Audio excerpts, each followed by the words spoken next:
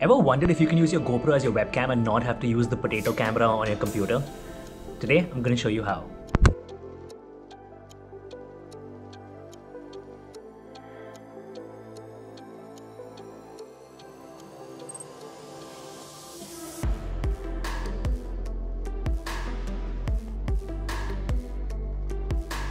And that's how you use your GoPro as a webcam.